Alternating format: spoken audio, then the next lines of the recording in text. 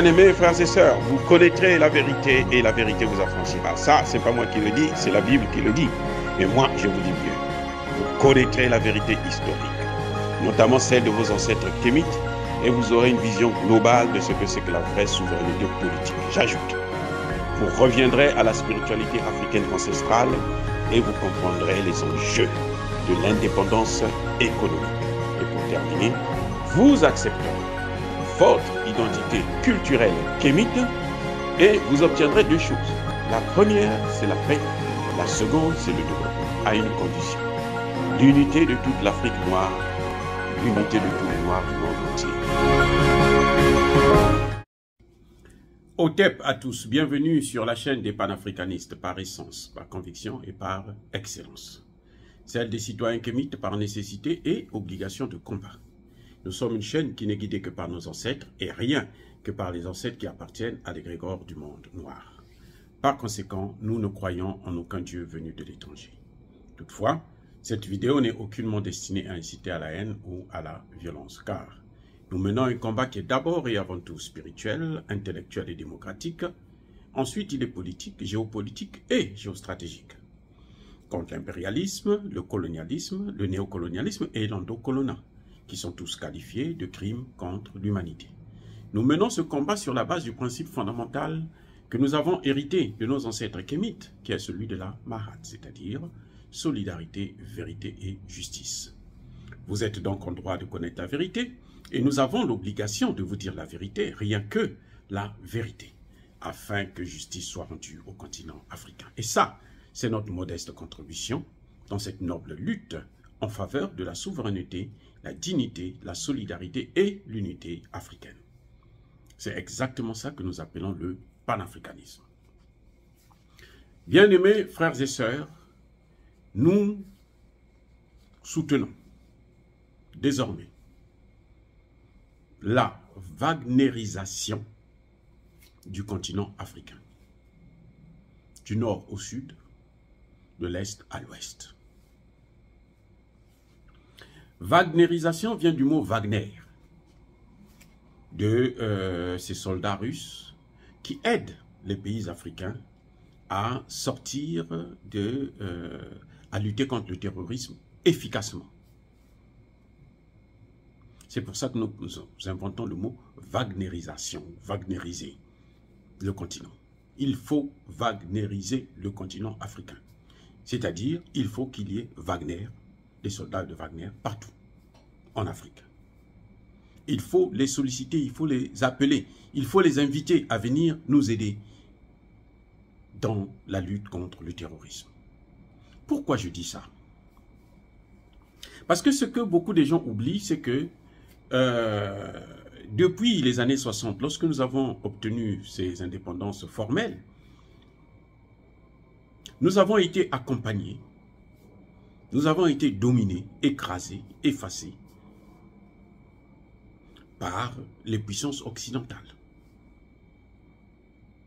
Ces puissances s'étaient entendues depuis la conférence de Berlin de 1884-85, novembre 84 à février 85, de faire en sorte que les, pays africains ne puissent pas avoir des armées sérieuses et que ces pays africains ne puissent jamais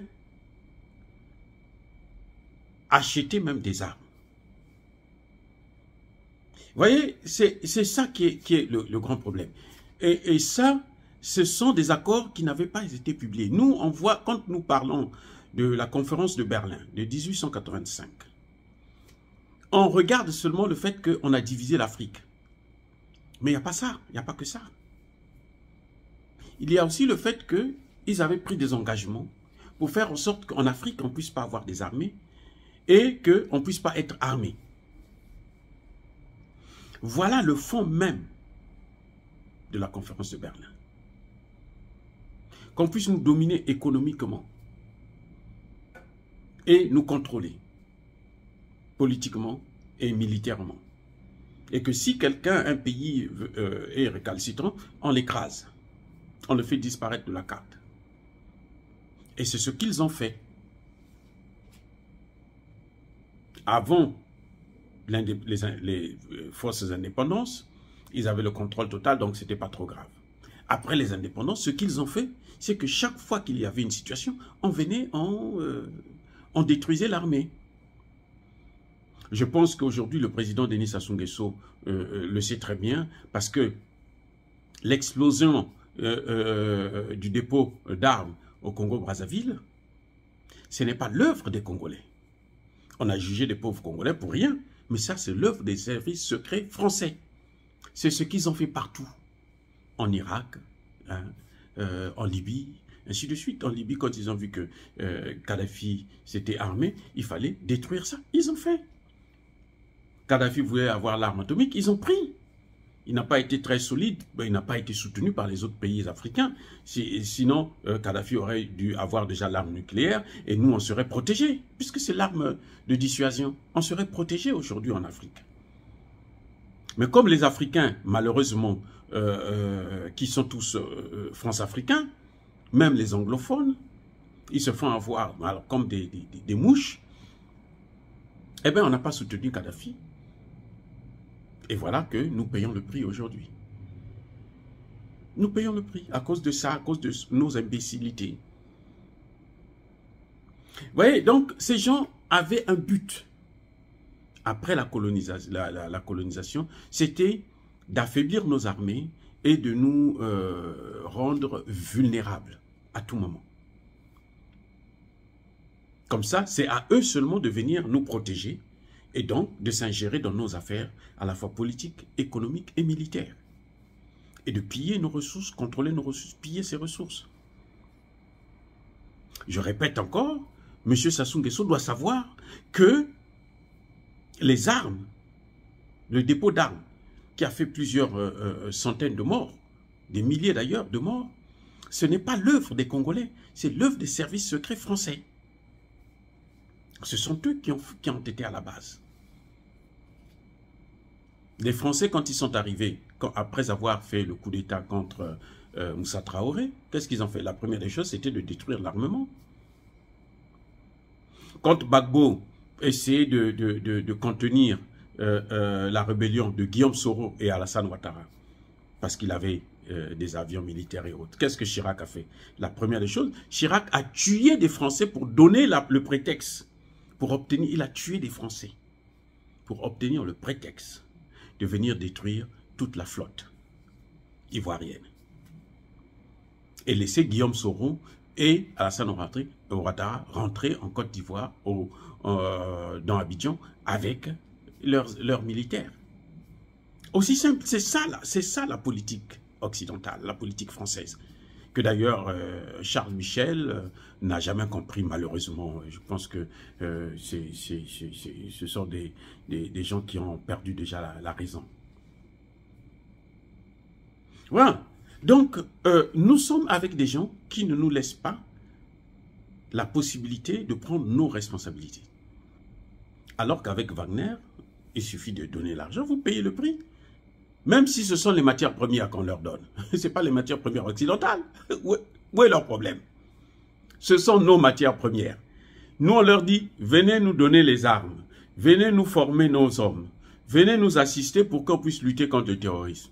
Et ils nous disent, nous, on vient, donnez-nous euh, de, de, de, de tonnes d'or. Donnez-leur ces tonnes d'or, vous avez votre sécurité. Il y a quelque chose qui est sorti de la bouche du ministre des Affaires étrangères euh, du Mali, lorsque le ministre des Affaires étrangères russe était là-bas, euh, à Bamako, il a dit que la Russie est un partenaire sérieux. Qu'est-ce qu'il voulait dire par là? Et il a bien précisé que lorsque vous achetez des armes auprès de la Russie, vous les obtenez très rapidement et vous obtenez ce que vous avez acheté. Ce qui n'est pas le cas pour d'autres partenaires et notamment la France, la Belgique, l'Allemagne, l'Angleterre, les États-Unis même. Même les États-Unis. Vous avez de l'argent, vous leur donnez, ils prennent votre argent, ils encaissent, mais ils ne vous livrent jamais le matériel. Haïti connaît ça. Haïti est livré aux gangs. Haïti s'efforce de trouver euh, euh, euh, quelques millions de dollars pour acheter des chars au Canada, le Canada prend l'argent, le Canada n'envoie jamais les chars. Voilà. Pour laisser pourrir la situation jusqu'à ce qu'on va appeler, inviter le Canada, les États-Unis, la France et les autres pour venir occuper Haïti. C'est tout ce qu'ils savent faire. Et comme les dirigeants haïtiens euh, n'ont pas encore compris que ça, c'est l'empire du mal, l'empire du mensonge, il faut se tourner vers ceux qui sont plus sérieux dans ce domaine. Eh bien, Haïti continue à être livré dans les mains des gangs. Donc, la France, les États-Unis, les pays européens, les pays de l'OTAN, ont toujours agi comme ça avec les pays africains. C'est pour ça que je pense qu'il est souhaitable, notamment regardez le cas du Congo démocratique. Le Rwanda est armé par les États-Unis, la France et autres. Le Congo démocratique qui est attaqué est sous embargo. Et c'est même un, embargo est illégal. C'est-à-dire que ce n'est pas les Nations Unies qui ont décidé de mettre le Congo sous embargo. Ce sont des puissances-là qui se sont dit, se sont donné le mot. Que, écoutez, il faut bloquer les armes. Quand la RDC achète des armes ailleurs, ça vient dans les ports, euh, euh, les, eaux maritimes internationales, ils savent. Ils prennent, ils bloquent. Et dit comme c'est une couille molle, il n'est pas capable de se tourner vers un partenaire sérieux parce que la Russie, là, quand vous achetez chez eux, là, ils vous livrent les armes. Ils vous livrent ça par voie maritime ou par euh, voie aérienne. C'est clair, ils ont des Antonov, les plus gros avions au monde sont des avions russes. Ils prennent un avion et on met les, armes là-dedans, on vous amène ça. On vous amène Wagner, et va faire l'affaire des M23. Les Rwandais vont, vont fuir même, même leur propre pays. Ils peuvent aller même vous chercher Kagame au Rwanda. Kagame, c'est rien, c'est zéro. Vous ne pouvez pas, les Occidentaux ne peuvent pas nous aider. Puisque de, toutes les façons, ils ne peuvent pas être pyromanes et pompiers aussi. C'est pas possible. On ne peut pas jouer les deux rôles à la fois. On ne peut pas suivre deux lièvres à la fois. On peut rater les deux. Donc, ils ne peuvent pas être à la fois des pompiers et des pyromanes. Du coup, si Tshisekedi était, euh, était un peu intelligent, si Tshisekedi réfléchissait, si Tshisekedi avait une tête, parce que c'est une sardine à mon avis, eh bien, ce qu'il aurait dû faire, c'est faire venir Wagner. Et puis, on faisait l'affaire. Au lieu de donner tout le coltan congolais aux mêmes Américains qui sont en train de diviser son pays, ils prenaient ça. Vous me donnez ça même à Wagner, que, pour que Wagner vous donne la paix. Voilà comment ça devrait se passer. C'est pour ça que je parle de la Wagnerisation du continent africain. Les Occidentaux nous ont conduits dans le gouffre dans l'impasse. Tout ce que nous avons eu avec les Occidentaux, ce n'est que humiliation, ce n'est que tristesse, ce n'est que larmes, ce n'est que sang. La seule chose qu'ils savent faire avec nous, c'est ça. Ce n'est que pillage de nos matières premières. Et ils sont sans pitié. Ils sont capables d'éradiquer tout un, tout un pays, ce n'est pas leur problème. Ce n'est que division. Regardez le Soudan l'Éthiopie. L'Éthiopie avec l'Érythrée d'abord. Maintenant, c'est avec le Tigré qu'ils sont en train de faire. Le Congo démocratique. Le Mali. L'objectif final, c'est quoi? Diviser, comme d'habitude, pour mieux régner. Pour contrôler les ressources. Donc, je pense que les Africains doivent comprendre que euh, il est temps d'être avec des partenaires sérieux. Si nous voulons nous en sortir tant que nous allons continuer à suivre les Occidentaux. Ce pas les petits milliards qu'ils donnent ici et là, euh, millions, tant de millions, tant de, milliards, qui, changent quoi que ce soit. Non, non, non, non.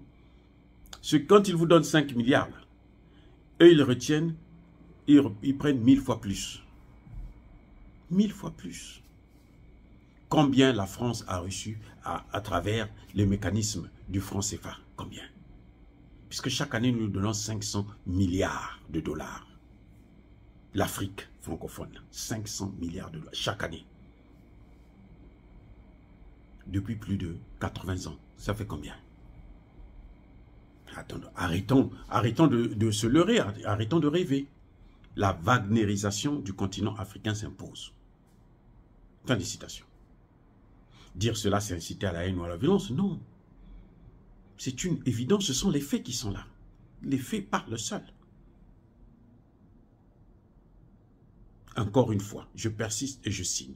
Soyez bénis, abondamment bénis par le Dieu des Kémites, et que tous ceux qui persécutent le continent africain, tous ceux qui le pillent et le déstabilisent, qu'ils soient noirs ou qu'ils soient blancs, qu'ils soient maudits, punis, foudroyés, neutralisés par le Dieu des Kémites et par nos ancêtres angélisés. Vive l'Afrique éternelle. J'ai dit et j'assume.